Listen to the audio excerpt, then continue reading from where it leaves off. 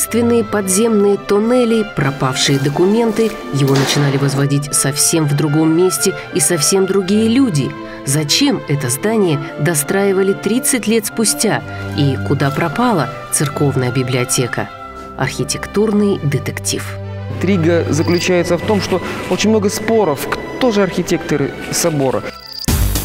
Вознесенский кафедральный собор. Торжественная закладка здания была приурочена к 50-летию города Верного 26 сентября 1904 года. Размеры в плане 30 на 50 метров. Высшая точка 44 метра.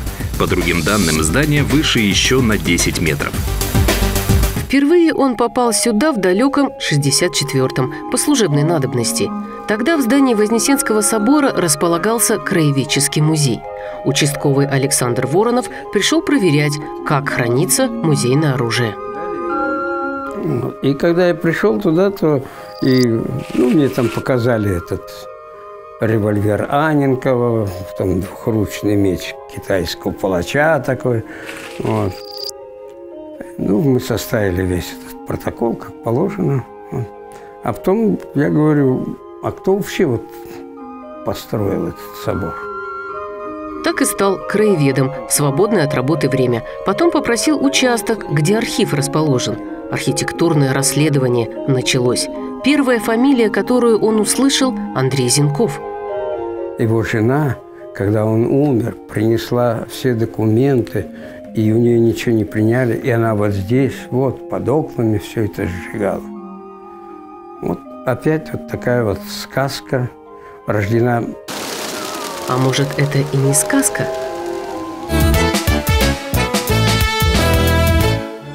История – субстанция хрупкая во всех отношениях, особенно такая загадочная.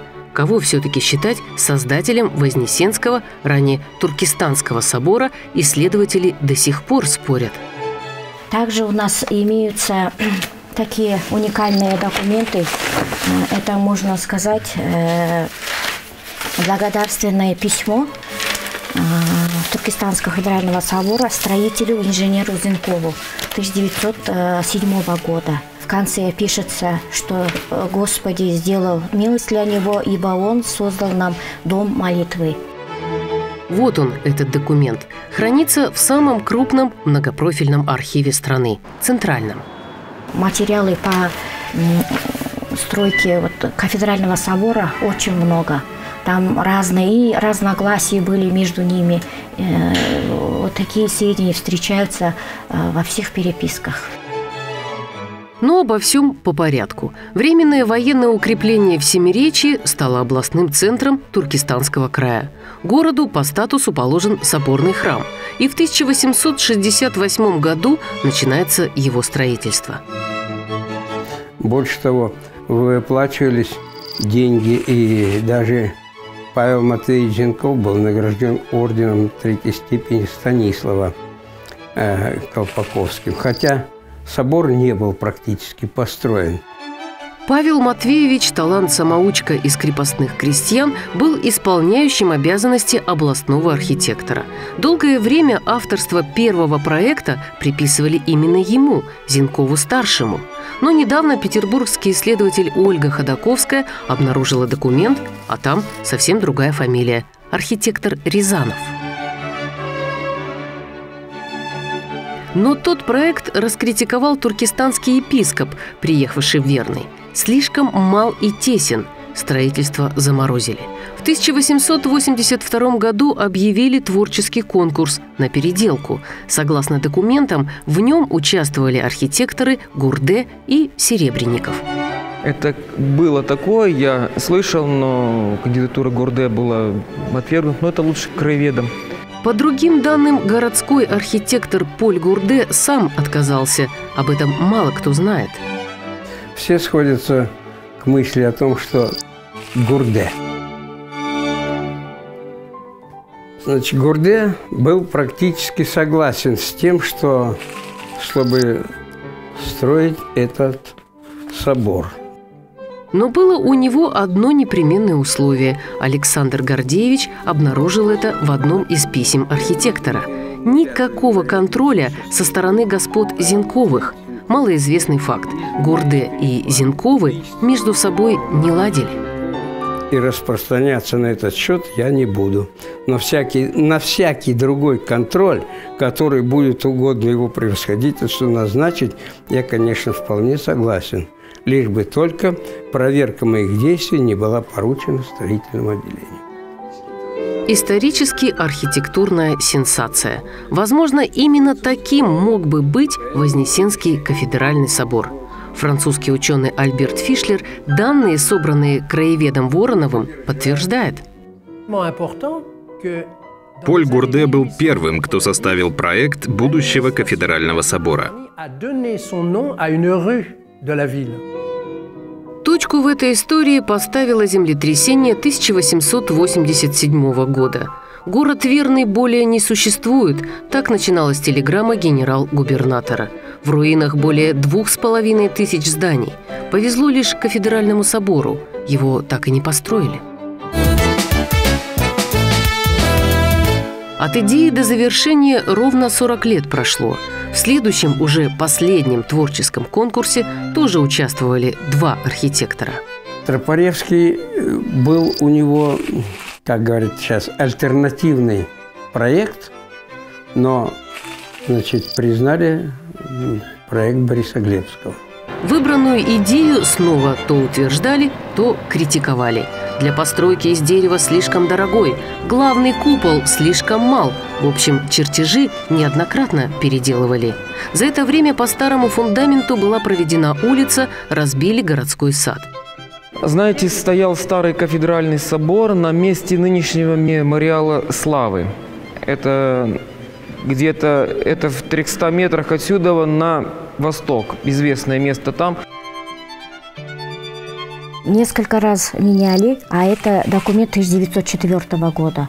Здесь э, указано место расположения, это которые вот рядом какие здания были построены.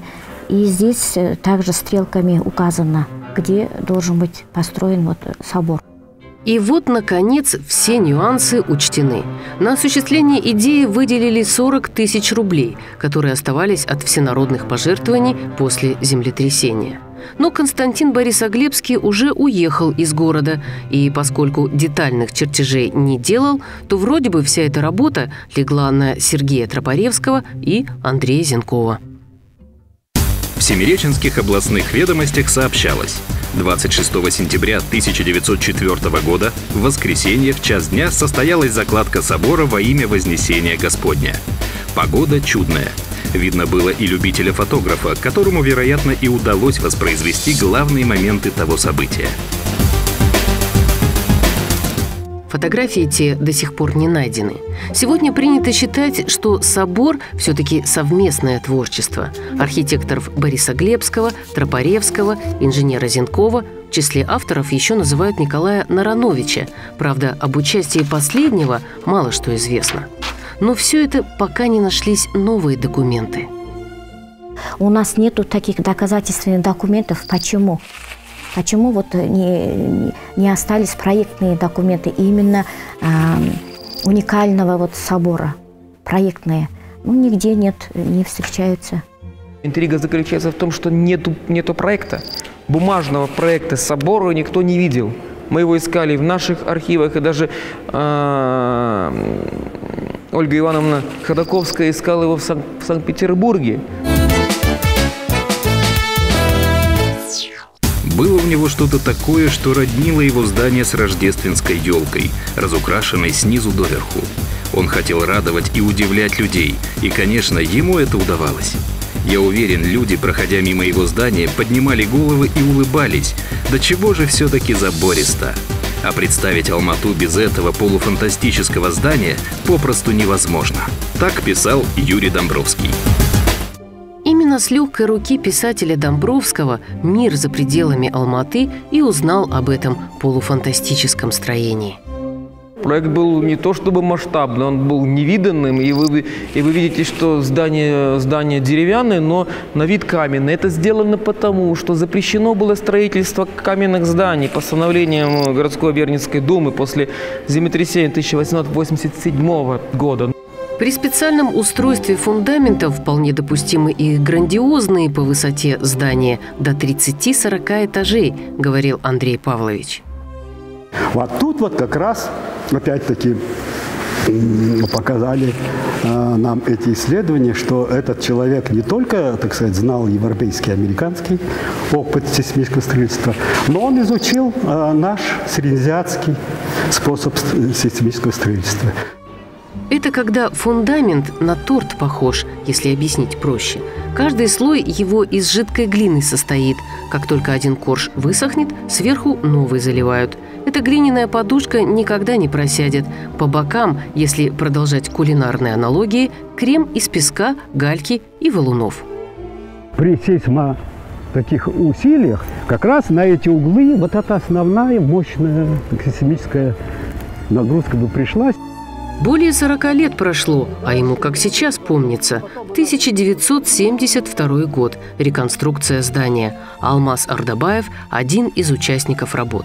Говорит, эти колонны, как и весь храм, деревянные, точнее, состоят из четырех брусьев. Но если убрать штукатурку... А внутри у них продух. Воздух идет под полом – по стенам есть такие отверстия, идет воздух и поднимается, и все время там свежий воздух. И когда мы вскрыли это, мы ахнули. Это была абсолютно идеальная, без червоточинки, не всякой гнили, звенящая, прямо вот совершенно вот такая вот прекрасная, светлого вот цвета вот этого тиньшанская ель. То есть конструктивно это сделано и просто Главный миф – здание построено без единого гвоздя. С одной стороны, и не миф вовсе. Ну, тогда делалось, э, это же тоже из сруба. Там, э, значит, они готовились из бревен тянчанской ели, просмоленные, двухгодичные выдержки. И потом она же крепилась же эм, шипами между собой, там гвозди не употреблялись. Гвозди использовались только для облицовочных работ. На стены из бруса ими прибивали решетку из реек, чтобы штукатурка держалась. Ну а вообще металла при строительстве очень много применялось.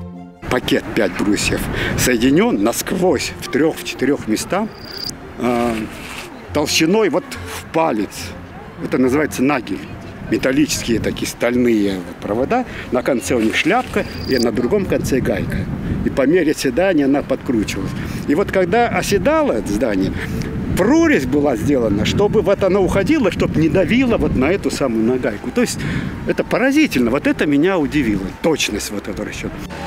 Древесина осела с точностью до пары сантиметров. Все эти заготовки из бруса были соединены и между собой. Кроме того, еще снаружи и изнутри в них вбивали скобы. Причем скобы делали не вертикально, опять-таки соображая, что при вертикальной осадке она может выскочить или согнуться, или продавить. Они были на... сильно наклонные. Ну, то есть опыт этих строителей был совершенно вообще поразительный. Это, знаете, для того времени, это, я считаю, самым таким гениальнейшим решением антисейсмических сооружений и еще из поразительных архитектурных решений. В одной из газет за 1905 год была напечатана анонимка, в которой неизвестный выражает недоумение. Почему это из цоколя строящегося собора торчат железные прутья наподобие щетины? Объяснение нашли в архиве. Записка есть такая. В фундамент э, вмонтировать 52 пары рельсов чтобы вот э, каркас соборов, при могущих быть сотрясениях в почве, не мог соскочить с фундамента. Все в нем было просчитано на сейсмостойкость. Фундамент, стены, купол и даже внутренние украшения. Например, эти розетки на потолке. Интересно, что для большей безопасности лепнина сделана не из гипса, а из старых газет – Папье-маше классическое – это когда вот бумажный материал мелко-мелко измельчается. Но тут, видать, э, работы было слишком много, и некоторые куски газеты не были измельчены. И мы развернули и даже про прочитали тексты и могли узнать, какого года газета это выпущена. Это здорово было. Лишнее подтверждение так сказать, о датировке и о датировке. Здание возвели в рекордные сроки – три года, особенно если сравнивать с проектной частью – 1907 году собор осветили Вознесенский кафедральный. Спустя четыре года еще не прошедшее усадку сооружение подверглось новым испытаниям. В катастрофический 1911 год Зинков сделал и другой опыт. Окопал свой дом антисейсмическим рвом. Результаты считаю блестящими. При землетрясениях в 6 баллов, пишет он в своем дневнике, только гул слышу, жду толчков, но их уже не испытывает мой дом, окруженный рвом. Семь месяцев ко мне ходят люди смотреть. Точно такой же ров был сделан и вокруг собора – что касается траншей. Траншеи есть, их найти можно. И по записям вырыта траншея по периметру собора, которая засыпана балластом. Это сделано для гашения продольных э, волновых колебаний. 1911 год по новому стилю. Сильнейшее землетрясение. На многих сейсмостанциях Европы даже оборудование перестало работать. Но на здании Вознесенского собора оно мало сказалось. Даже штукатурка не осыпалась. Ее, собственно, еще и не было. Украсили фресками храм намного позже, в 1913-м, когда древесина дала усадку. Ну а в 1917-м события всем тоже известные. Практически все ковры и стулья были вывезены в местное в управлении ГПУ НКВД. А, церковная утварь, облачение, библиотека были вывезены в кафедральный, в Кровеческий музей, но где это сейчас находится, к сожалению, неизвестно. Сброшены колокола, уничтожен иконостас, городские власти размещают здесь радиостанцию, затем музей атеизма и, наконец, краеведческий музей. Здание немного перестраивают. Зинков был еще жив. И он сам спроектировал постройку там второго этажа для этого музея. А, второй этаж и раньше был только вот при входе над головой хоровье, а второго этажа как такового не было. Он сам спроектировал. Он сам спроектировал э, ту стенку, которая закрыла иконостас и так далее. В 1972 году заказали московским реставраторам обмерные работы, модные в то время фотограмметрические, чтобы ускорить реконструкцию – Вообще планировали косметический ремонт, фасады покрасить, штукатурку местами обновить. Как раз такой сомнительный участок Алмаз Ардабаев и решил проверить. Отсутствующий водосток и, как следствие, дожди подпортили угол здания. И решил, вот так сказать, маленьким перочинным ножичком просто попробовать, насколько узнать, насколько под этой штукатуркой дерево прогнило. И небольшое усилие мое и моя рука оказалась внутри собора. То есть это вся, весь брус вот такой толщины, он весь прогнил. Казалось бы, ничего страшного, но именно такие углы и принимают всю сейсмическую нагрузку на себя. Здание, которое выстояло при 10 баллах, могло погибнуть даже от четырехбального толчка. Тогда мы э, остановили дальнейшее исследование, потому что было понятно, что надо моментально не откладывая в долгий ящик, уже заменять вот эти прогнившие брусья. Чудесным образом и во время реконструкции, и до нее сейсмообстановка была спокойной. Брус заменили, и оно снова выстояло, чтобы стать уже концертным залом. Редкие кадры поет Алибек Днишев.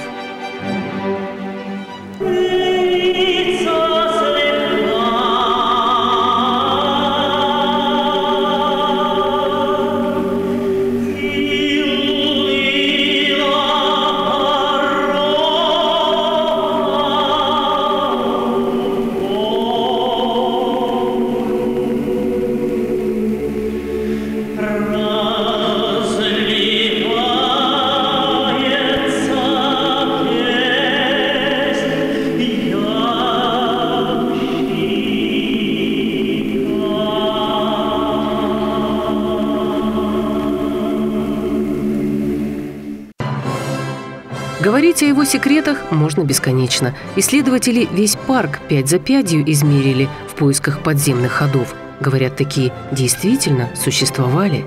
Таинственный, уникальный и такой яркий. Представить Алматы без Вознесенского собора просто невозможно. Памятник деревянного зодчества. Образец сейсмостойкого сооружения. Включен в список памятников истории и культуры Казахстана республиканского значения. В мае 1995 года решением правительства Республики Казахстан собор был возвращен Русской Православной Церкви.